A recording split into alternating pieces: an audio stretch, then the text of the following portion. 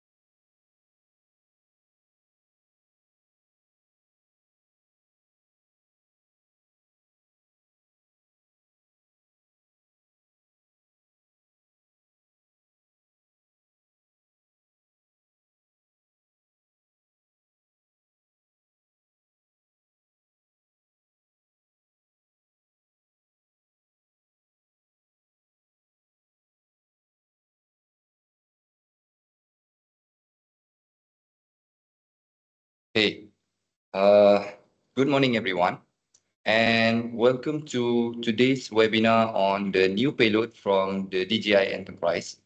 My name is Shafiq Arif, and I'll be focusing on the all information that the product able to provide us, while Mrs. Aisha, uh, who is our Aonic GIS lead, are focusing on sharing to you all our local case study by using the product. We are also thrilled to have an audience from multiple industries, whether you're joining us from uh, office or anywhere. We appreciate you taking the time to be here with us. So today we have an exciting agenda lineup featuring the ZenMuse H30 series. Our goal is to overview its specification, features, and capabilities. Without further ado, uh, let's jump into it.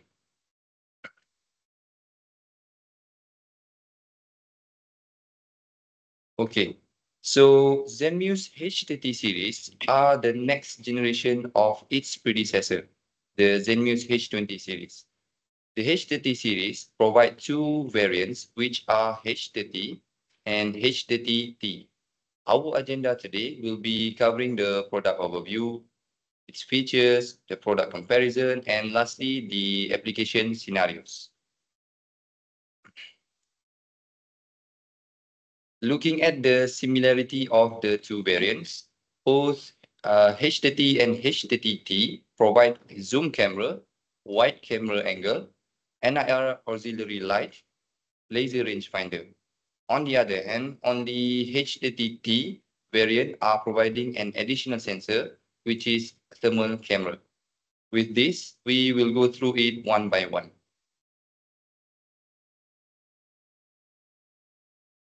So here is the uh, zoom camera. Looking at the zoom camera, both variant have the same specification, which is 40 megapixels with 1 over 1.8 inch CMOS sensor. So with this spec specification, it can cover a 34 times optical zoom and covering up to 400 times digital zoom. Now looking at the wide camera, when referring to the wide camera, both provide a 48 megapixels with 1 over 1.3 inch CMOS sensor, providing a wider ranges of view. And then in terms of the laser rangefinder, it can cover up to three kilometer measuring range where it can provide an additional information towards the subject that you, that you are trying to focus on. So this is referring to uh, H30T. So when it comes to infrared thermal camera, only this variant are providing an additional sensor with uh, thermal camera. It has higher resolution compared to its predecessor, the H20T.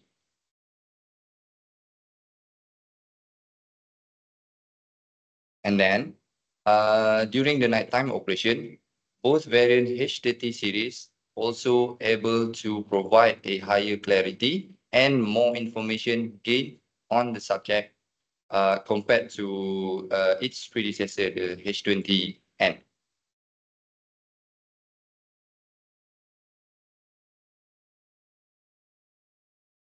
Now, after looking at the product overview, we will then be focusing on its features. So without further ado, let's explore it together, the HTT series features.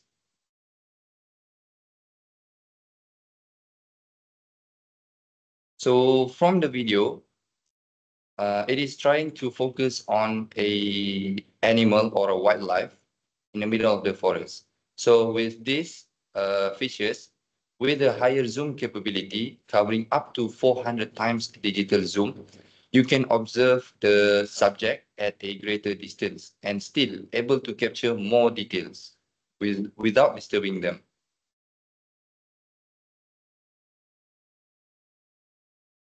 And then the HTT series also have the capability to minimize the shake when trying to focus on a small or even a very long distance subject when zooming in. So it means that it is able to stabilize the footage that you are trying to focus on.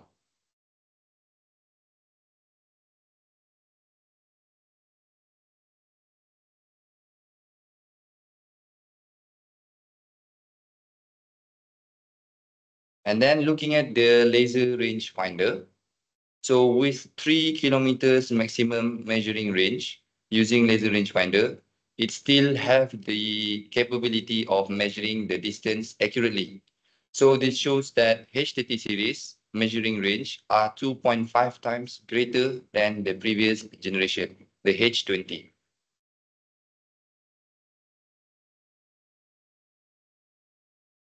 Okay, so not only that, a HTT series have the capability to switch into night scene mode.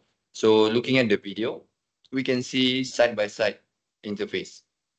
Okay, and then when under the low light conditions, so it this enhances the live view and recording quality during the low light condition.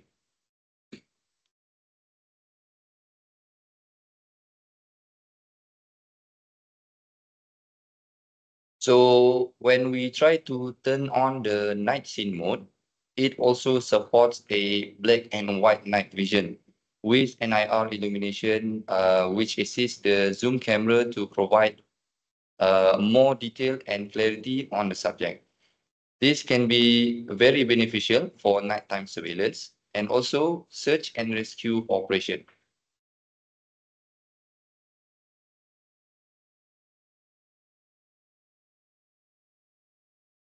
Moving on, uh, in terms of infrared, when discovering the thermal sensor, it can provide a four times greater thermal zooming capability compared to its predecessor, the H20T.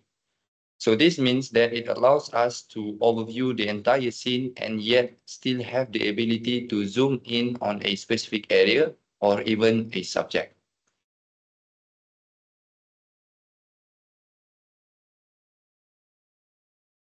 Okay. So the H30T supports three infrared gain modes, which are high gain mode, uh, low gain mode, and high resolution mode. So all these three providing different purposes. High gain mode are for more precise temperature measurement, while looking at the low gain mode are for wider temperature measurement. And lastly, the high resolution mode, uh, it is suitable for observing objects, people or animals with small temperature differences.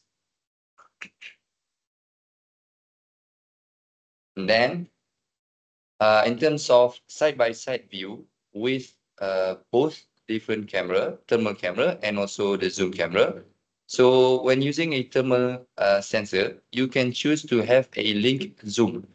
So this means that it provides a capability to view and zoom from the RGB camera, which is zoom camera, and infrared camera at the same time with side-by-side -side view from the controller. So with this, it can provide you more information on the subject during the flight.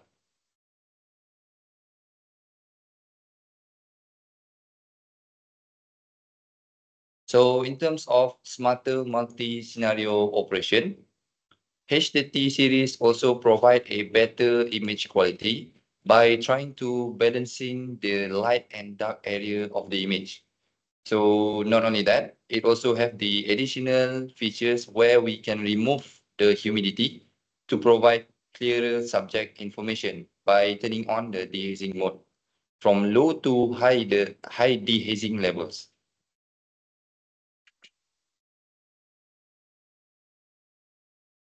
Then looking at the superior environmental adaptability, by having an IP54 uh, ingress protection rating, the payload have the capability to protect from dust and water.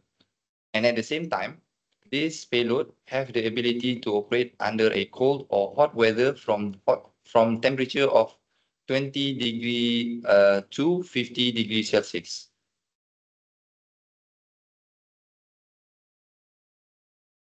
And uh, another features are the pre-recording where it records from 10 seconds 15 seconds or even 30 seconds time period before the formal recording starts. So this allows us to have more information before the event started. Not only that, the security code function can fully protect your files from any unauthorized user who are trying to open or obtain your files without knowing from you. okay. And lastly, the HDT series able to utilize the FlightHub 2. Some of you might aware of FlightHub 2. So it is a cloud platform which trying to synchronize with the rest of the team and provide a live stream from any devices.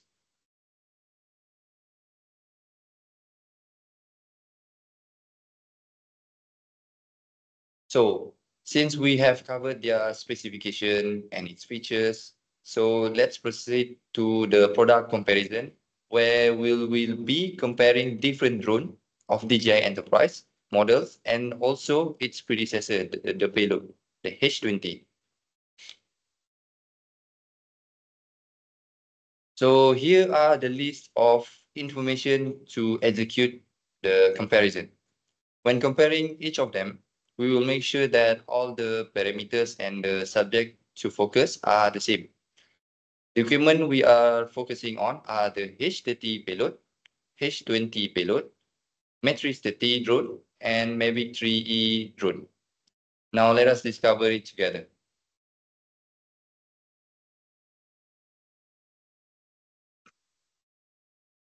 Okay, so uh, referring to the drone comparison, we are using a spot capture and a person as a subject on at nighttime with 10 times zoom, all three of them.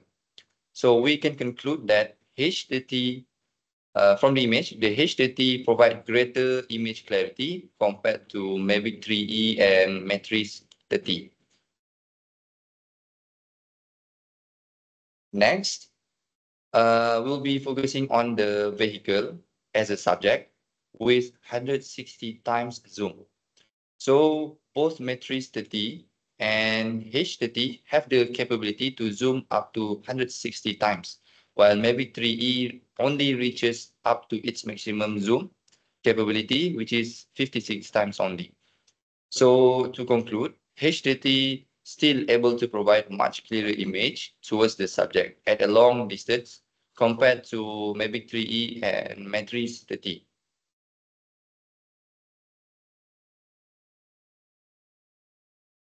And then each of the drone provide a different maximum zoom capability. Mavic 3E can reach up to 56 times zoom, while Matrix 30 can reach up to 200 times zoom and H30 can reach up to 400 times zoom. So to conclude, when comparing this towards the subject, H30 able to provide very clear image while uh, zooming in to its maximum capability at 400 times compared to Mavic 3E and Matrix 30.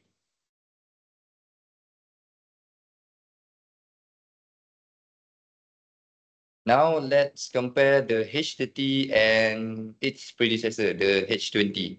So since H20 only provide up to 200 times zoom capability, we will then be using H30 on uh, 200 times zoom to compare. So to conclude, the H30 provide more clarity on the subject rather than the H20 at 200 times zoom. And yet, H30 still able to extend its zoom capability up to 400 times and still provide better clarity.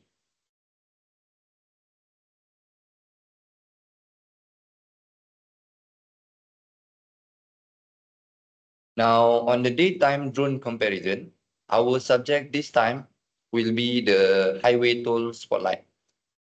So to conclude once again, Mavic 3E and Matrix 30 could not keep up with the maximum zoom capability of H30. And at the same time, H30 still provide greater uh, image clarity on the subject. Moving on, we then compare the payloads of its predecessor and the latest one, which is the H30. So comparing with the new and old payload on the daytime, so we can conclude that uh, H30 provides higher subject clarity rather than H20 on both 200 times zoom.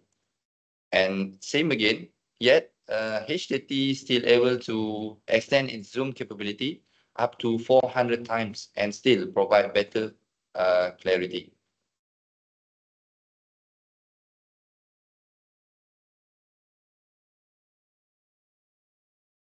So here is an additional uh, comparison. We also compare the accuracy of laser range finder on the same subject, which is the toll spotlight, and using the Matrix 30, H20 payload, and H30 payload. So both M30 and H30 measurement are almost close to each other. However, H30 measurement are about 200 times or 200 meters different with the Matrix 30 and H30. So to understand more, uh, the actual location and measurement are the green line from the map as shown in the slide. So uh, the H20 did not touches the actual subject, but instead it went through the subject and touches behind it.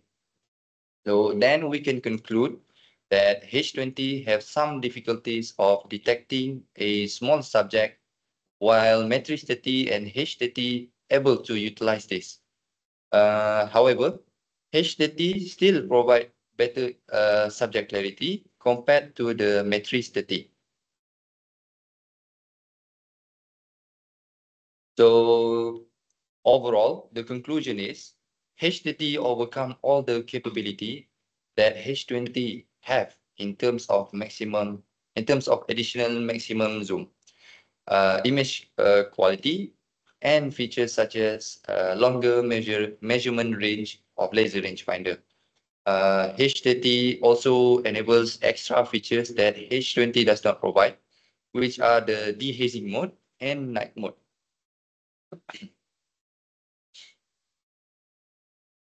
Now, uh, our last agenda will be covering the application scenarios. When does the Zenmuse HTT are suitable to be used at?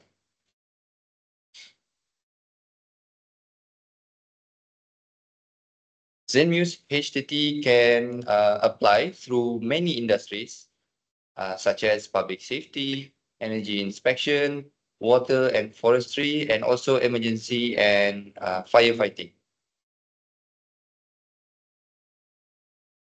So for a quick emergency response on fire, it can provide a thermal data and a real-time monitoring. So here are some of the background that happens in April 2024. There was a fire.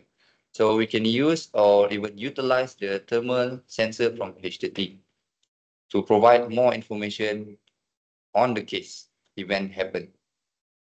Okay, and when trying to focus on the power line, HTT series, especially the HTT, are suitable to do a power line inspection by providing both nighttime vision and also a thermal sensor information.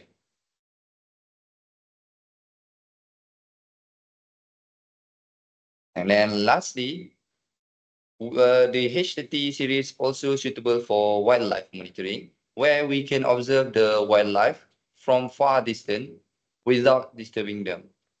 So uh, that is all for me. Thank you for listening. I will then pass to Mrs. Aisha, and the GIS lead, to focus more and share with you all on our local case study. Hello and good morning, everyone. And thank you for joining our webinar this morning. So, um, yeah.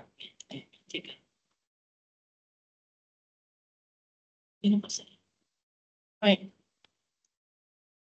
Okay, yeah. Um, this morning, um, I will present, be presenting on the local case study that we have done in Marang Terengganu on the solar and uh, also the UAV thermal application. So, so here are, uh, we start from the introduction first. So across the globe, there is a transition uh, towards the renewable sources such as solar, wind, and also the hydroelectric power. So um, the solar power is a key component uh, of the sustainable energy. It stands out for its abundant availability, cost effectiveness, and also it can minimize the environmental impact.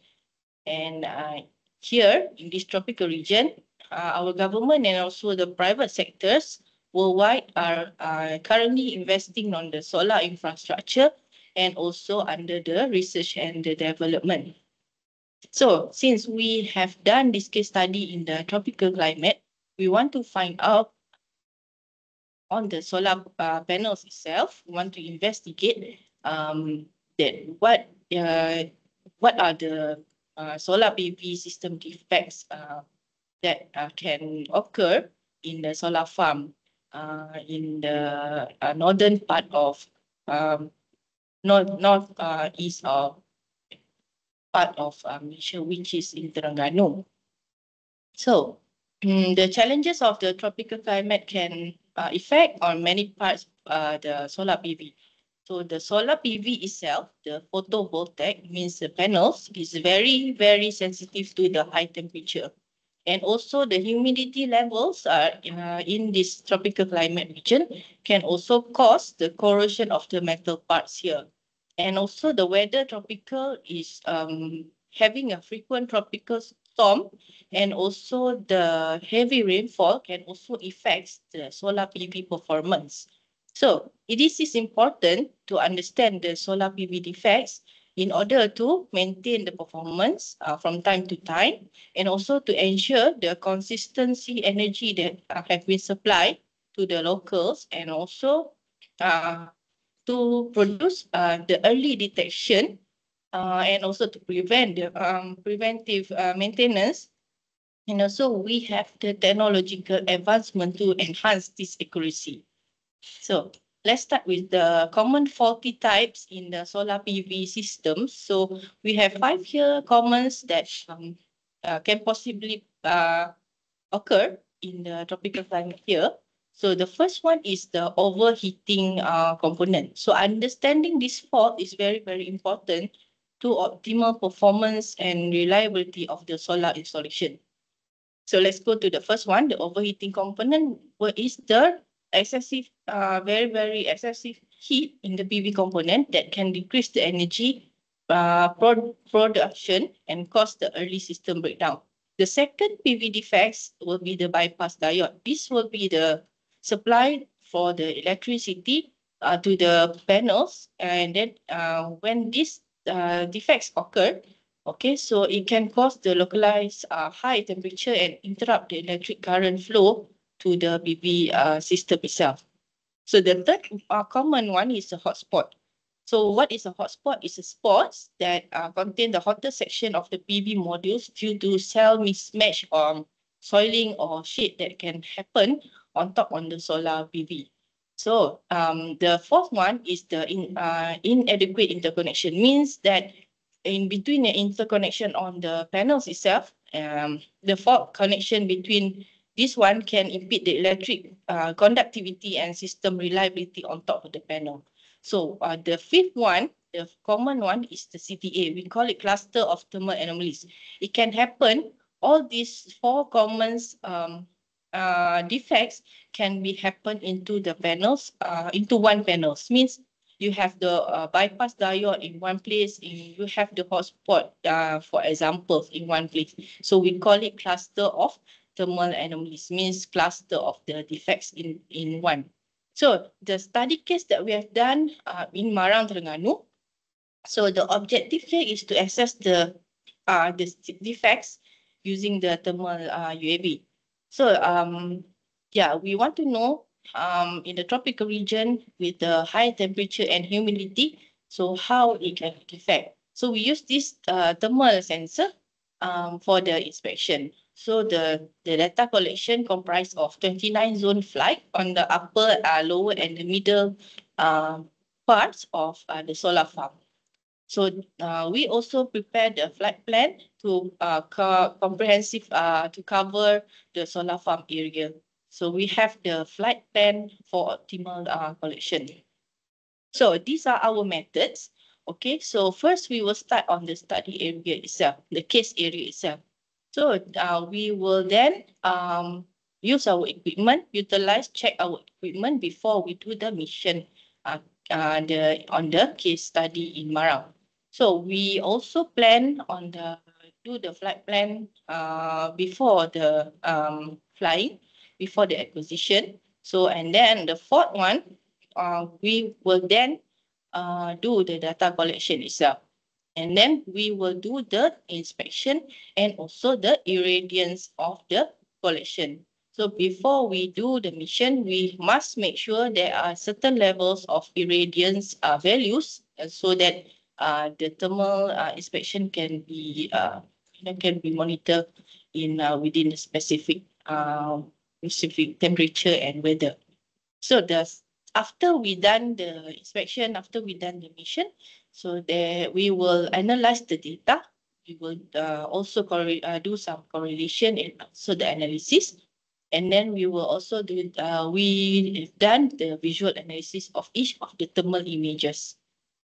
All right, so the last one, we identify the categories of defects and also we analyze the temporal variation um, that can affect on the uh, solar panels if, uh, itself.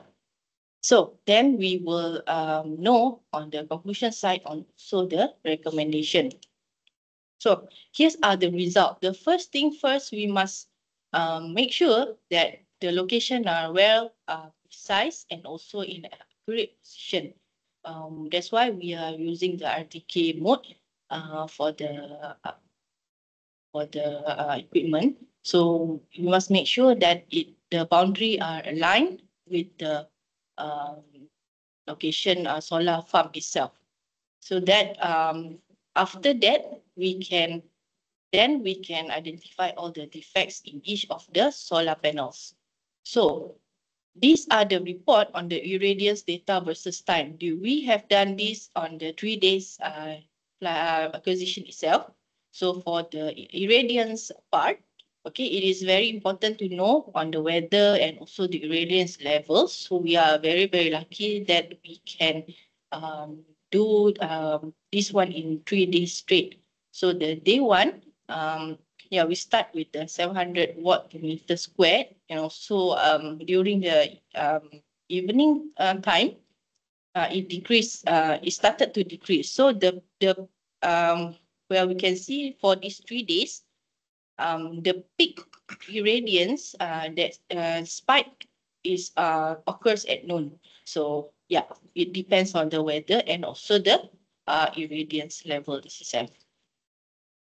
So once we got the data, we will analyze the data. So the total panels is um 216,000, uh, okay, over the solar farm that uh, we have done.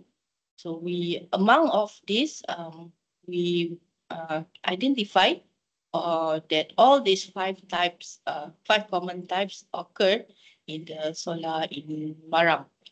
So the first um, one uh, is bypass diode. The most uh, major problem that occurs in that uh, farm is, uh, yeah, it caused by bypass diode.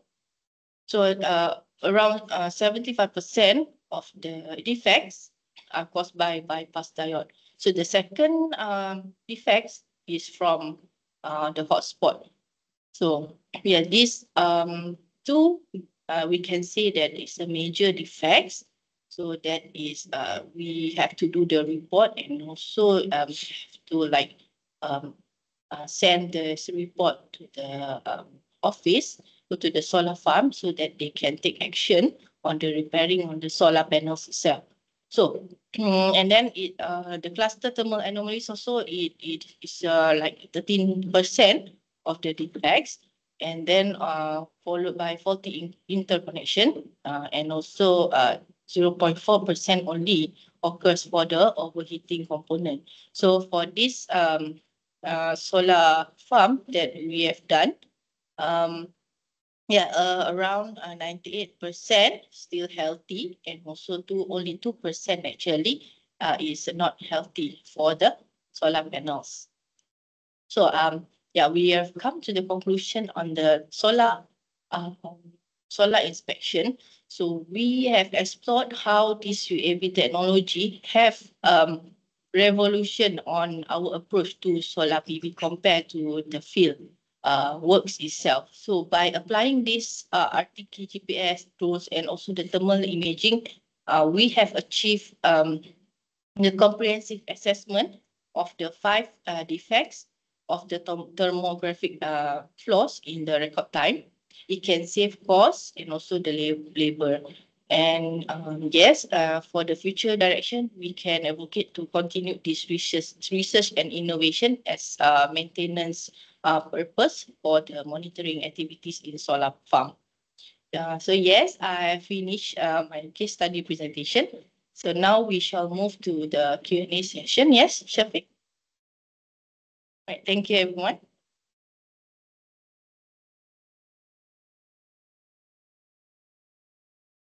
So for those of you who uh, have uh, some question, feel free to post them in the chat box. So let's looking at the some of the questions that has been uh, asked in the chat box.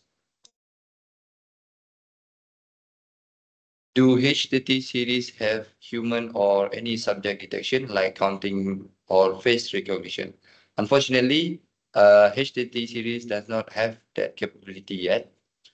Okay, and then uh, what is the improvement from H20 and H30, H20T and H30T? So referring to the laser rangefinder, uh, that's one of the improvement. So longer measurement range and also the thermal sensor it provides a more or higher resolution by using a H30T rather than H20T.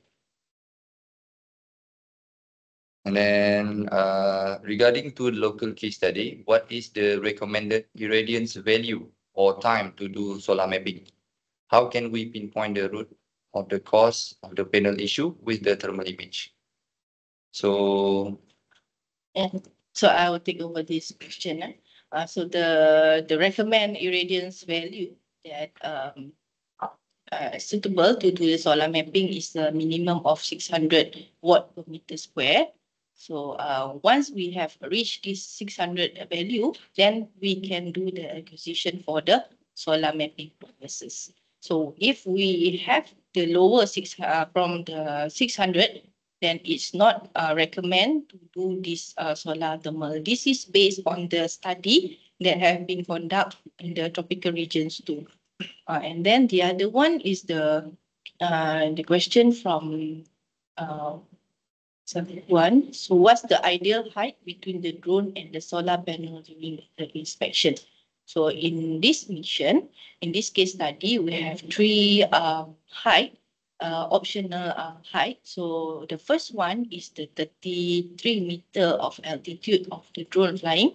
And the second one is 62 meters of altitude of the drone flying. Um, and then the other one is uh, 80 meter of uh, drone flying uh, on top of the solar panel. So we choose the second one, 62 meter uh, altitude with uh, 10 meter per second of the speed of the drone because we find it sufficient enough to produce um, our, for our case study. Means we um, can produce the defects, we can identify the defects uh, within that uh, level of uh, altitude, flying altitude drones.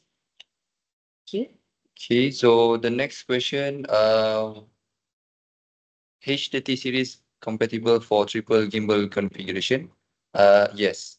So uh, you can attach with third-party payload along with uh, another uh, third-party payload to attach together by three maximum gimbal configuration. And what is the maximum distance, H30 distance plate number recognition? So the maximum distance plate number recognition, in terms of uh, recognition, uh, I would say the there is no uh, recognition for H30, but in terms of the clarity or the uh, quality of the image when you're trying to zoom, it all depends uh, on how how and where you use. So if the area got some obstruction or even let's say uh, a lot of haze, so the quality when you try to zoom in from far will be uh, much lesser. Okay, and then is there any uh, lens protection from dust or dirt during the flight? so since it is uh, IP54 rating, so uh, it already provide us the uh, protection from dust during the flight. And when talking about the picture blur, uh, it all depends on how you take care of the lens. So if you want a lens protection, maybe there is an accessory we can uh, uh, I will let my team know that if there is any any accessory for protecting the lens. Okay. and then from Kelvin Shu, uh, in the application of solar panel inspection, what sort of productivity per drone by hectare based on the case study? How long the available period time for the ins- inspection with adequate irradiance level? So Aisha. So yeah, um, that's very interesting questions. Uh, okay, based on the case study. So for this uh, case study, we have done is uh, 270 hectares uh, of area.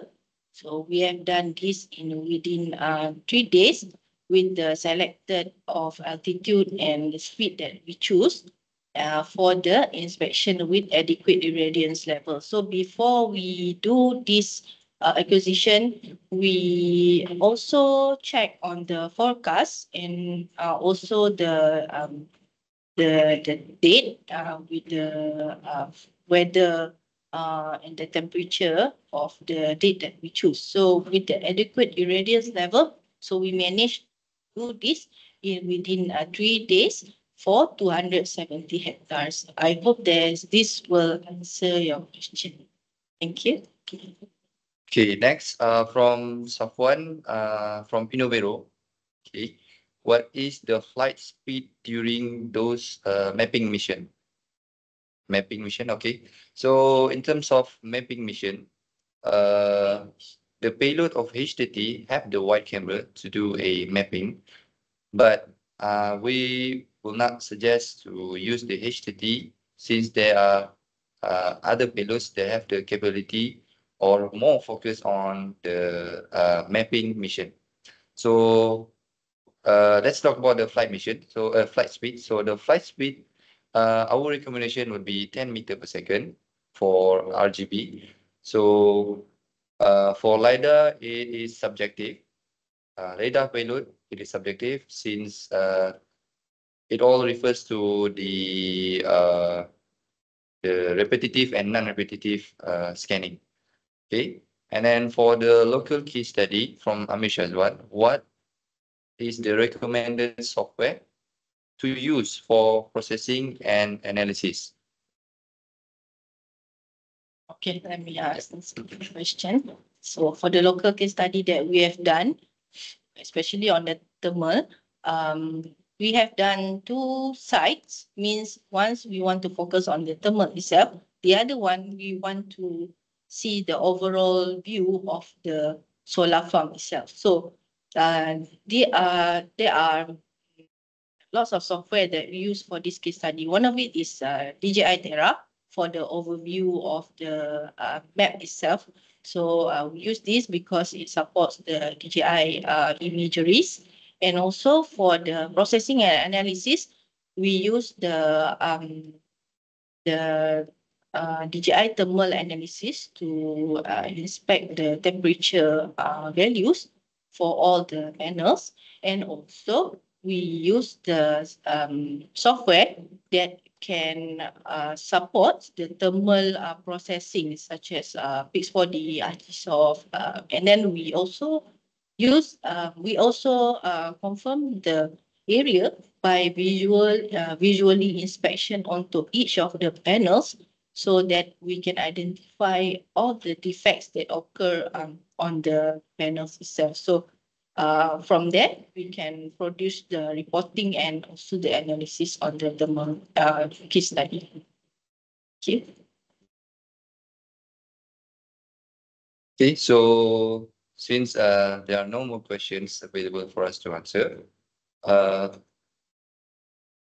okay, uh, there's one more just came by. Uh, can the H30T series be used on the older model of uh, Matrice 300 or Matrice uh, 210?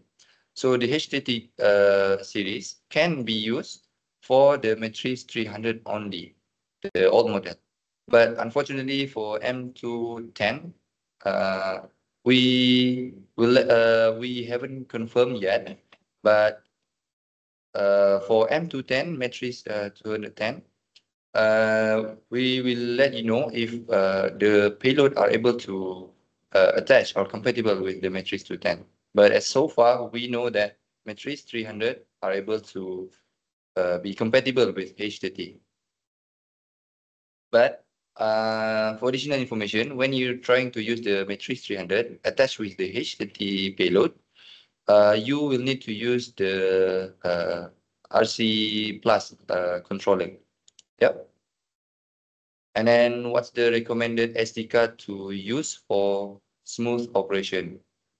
Uh, the brands that we use are Kingston uh, SD card, and then it all depends on the speed of the SD card to be transferred on. So the higher the speed, uh, much better uh, the image or the footage to be transferred into the SD card.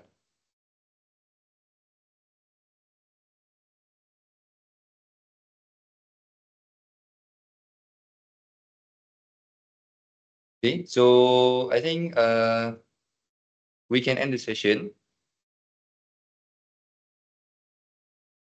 So before we end the session, If there are no uh, questions, uh, we will then uh, end the Q&A session. So for those of you who have not followed our Aonics uh, social media, you can follow us uh, through LinkedIn, Facebook, and even YouTube. You can scan the QR code uh, to follow us. We will be posting the latest update on DJI products and industry news. So besides, there will be also lots of in-person events uh, as well as similar similar webinars like this, which we will be updating regularly.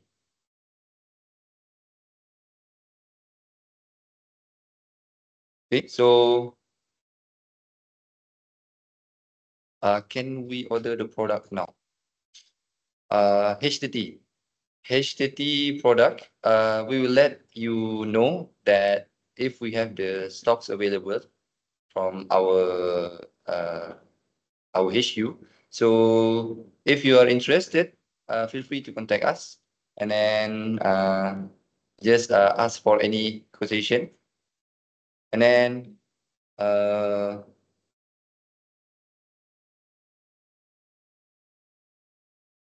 thank you so much uh, for listening to our webinar. Thank you for your time today.